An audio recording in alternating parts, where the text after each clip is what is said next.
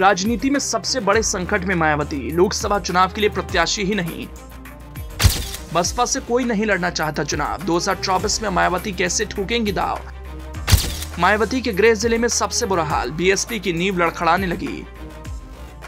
किसी पार्टी के इतने बुरे दिन हो जाएँगे, ये शायद किसी राजनेता ने नहीं सोचा होगा।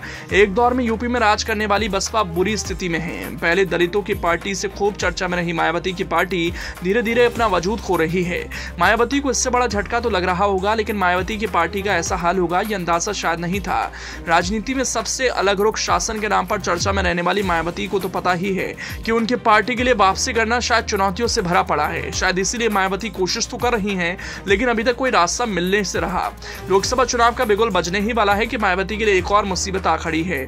बीएसपी के लिए देश में अस्तित्व की लड़ाई लड़ रही मायावती के गृह जनपद में भी लोकसभा चुनाव लड़ने के लिए चेहरों का अकाल पड़ गया है। हम बात कर रहे हैं गौतम बुद्ध नगर की, जहाँ बीएसपी को ज़ोर का झटका लग चुका है।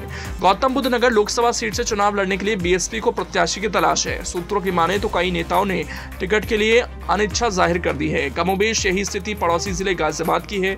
हापुड़ तीन लोकसभा सीटों में बटा हुआ है। तीनों ही जगह बसपाई देश के सबसे बड़े महापर्व में आहुति देने के लिए बड़ी रणनीति बनाते नज़र नहीं आ रहे। ज़िले और मेरठ मंडल के संगठन की सक्रियता भी अधिक नहीं है।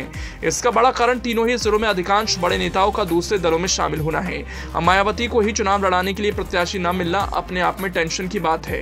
क्योंकि हाल ऐसा है कि किसी को हजम नहीं हो रहा, ऐसा भी हो सकता है कि बीएसपी प्रत्याशी ढूँढने की बात गौतम बुद्ध नगर की करें, जहाँ 2009 में सांसद रहे सुरेंद्र नागर, जेवर से विधायक रहे पूर्व मंत्री वेदराम भाटी, दादरी के पूर्व विधायक सतवीर गुर्जर समेत कई नेता बीजेपी में शामिल हो चुके हैं। पार्टी के नेताओं का बीजेपी में चले जाना अपने आप में टेंशन है।